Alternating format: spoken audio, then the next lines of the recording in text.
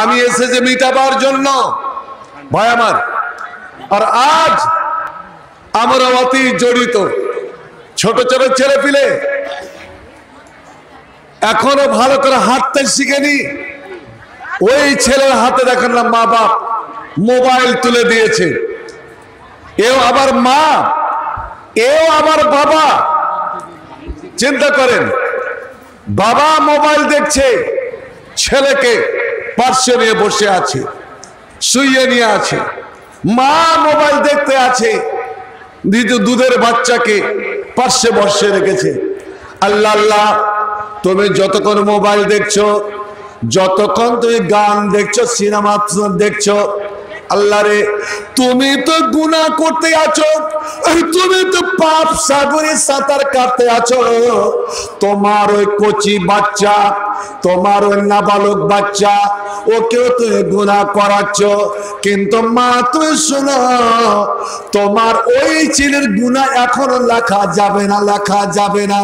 কারণ ওর খাতা চালু হয়নি, ওর নেকি বুদির খাতা চালু হয়নি। আল্লাহ আল্লাহ, ওই ছোট্ট ছেলে মেয়ে, যা গুণা করল, যা পাপ করল, সম্পূর্ণ পাপটা ওই মায়ের খাতাতে জমা হয়ে গেল। এবারলেন আপনি আপনার ছেলেকে কোন পথে চালিত করবেন? একটা ছোট্ট ছেলে, একটা ছোট্ট মেয়ের দ্বারা আপনি যদি একটা নেকি করাতে পারেন, যেমন দুনিয়াতে একটাই কেতাব, সেটা হলো কোরআন। যার প্রত্যেকটা হরফে দশ দশ করে নেকি। দুনিয়ার কোন কেতাব, কোন বই, পুস্তক পড়ে এই সম্মান এই নেকিটা পাওয়া যায় না।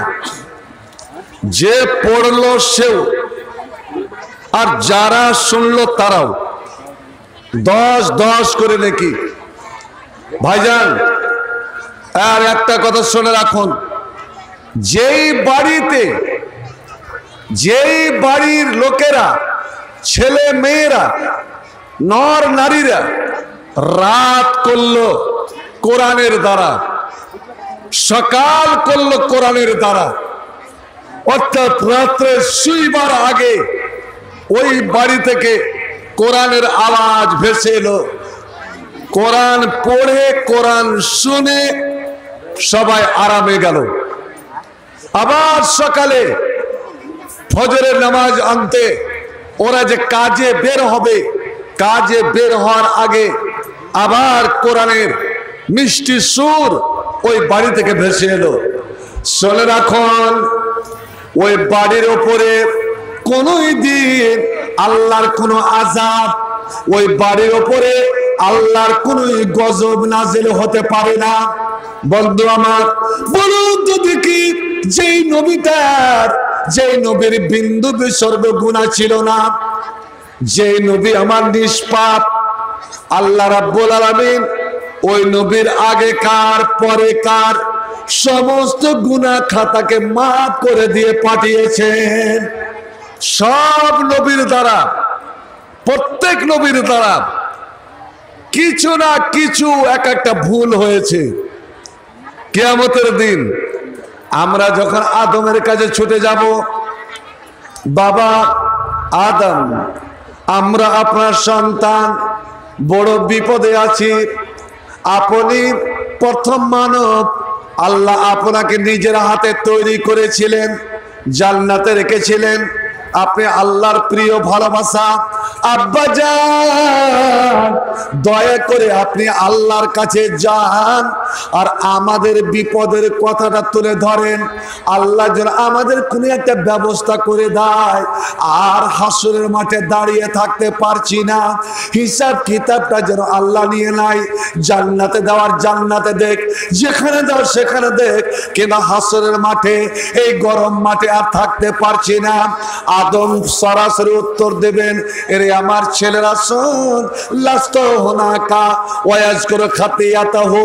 হাজরাতে আদম বলবেন, আমি আল্লাহর কাছে আজ যেতে পারব না, আমার যাওয়ার মুখ নাই, কারণ আমার ছেলেরা আমি তোমাদের বাবা বটে। কিন্তু আমি বিরাট বড় একটা গুনাহ করেছিলাম। আমি গুনাহ করেছিলাম। আমি পাপ পাপিষ্টি আল্লাহ না পারমানে করেছিলাম। আল্লাহ একটা জায়গায় যেতে আমাকে নিষেধ করেছিলেন। কিন্তু আমি চলে গিয়েছিলাম। আল্লাহ ফল খেতে নিষেধ করেছিলেন। কিন্তু আমি ফল খেয়েছিলাম।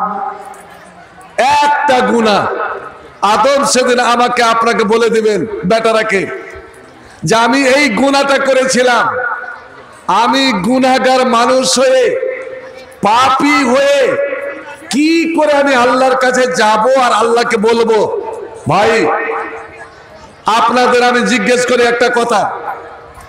বলুন তো, আল্লাহ আদমের পাপটা, আদমের গুনাটা আল্লাহ মাফ করেছিলেন কি করেননি? বলুন, জোরে বলুন। আল্লাহ গুণা তো মাফ করে দিয়েছিলেন। যখন আদম আল্লাহর কাছে কাঁদলেন, কি বলে? রব্বানা জালামনা আনফুসানা ওয়া ইল্লাম তাগফির লানা ওয়া তারহামনা লানাকুনান্না মিনাল খাসিরিন। একটাই গুনাহ, সেটা আবার আল্লাহ মাফ করে দিলেন। কিন্তু গুনার কত ভয়? ভয়টা আদমের দূর হয়নি। এবার বলুন, আমরা আদমের সন্তান, আমরা আদমের বেটা, আমরা আল্লাহর বান্দা। জীবনে কত গুণা করেছেন? আদমকে একটা ফল খেতে নিষেধ করেছিলেন, আপনাকে কি আল্লাহ মদ খেতে নিষেধ করেনি? মদকে হারাম করেনি? যে যারা জীবনে একবার মদ মুখে লাগাবে ওই মুখ কোনোদিন জান্নাতে যাবে না, ওই মানুষটা কোনোদিন জান্নাতে যাবে না।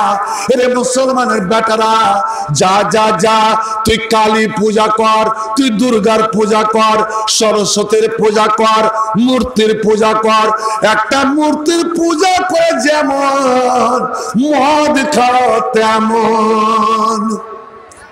শামসির বুকে এই মুসলমানের বেটার মদ খায় না? শুনুন, মূর্তি পূজা করা আর মদ খাওয়া সমান পাপ।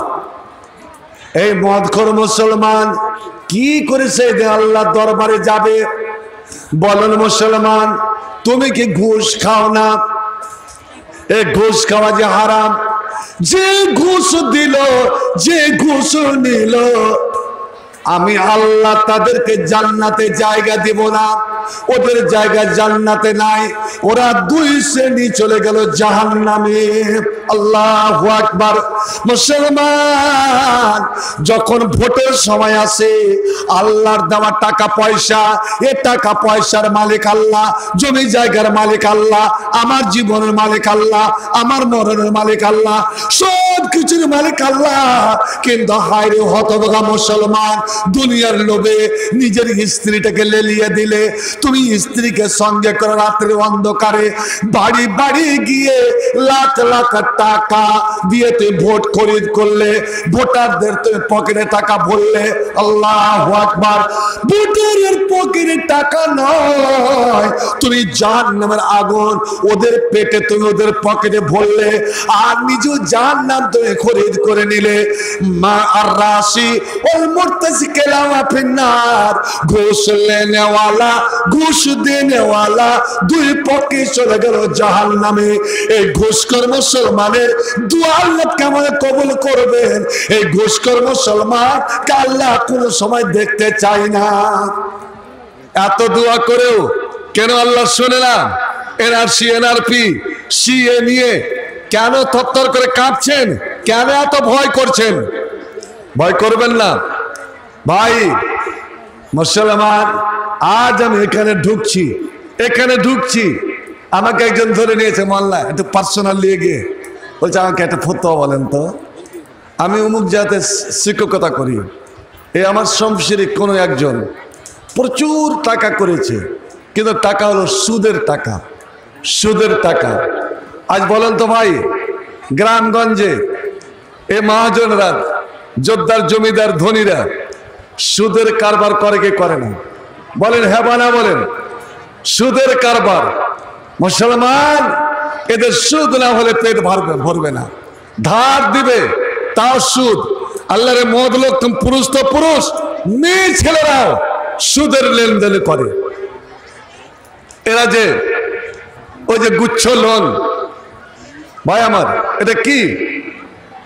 তো সুদের টাকা, প্রচুর টাকা ওর জমা হয়েছে। ও আমার ওখানে একটা মসজিদ বানিয়ে দিতে চাইছে।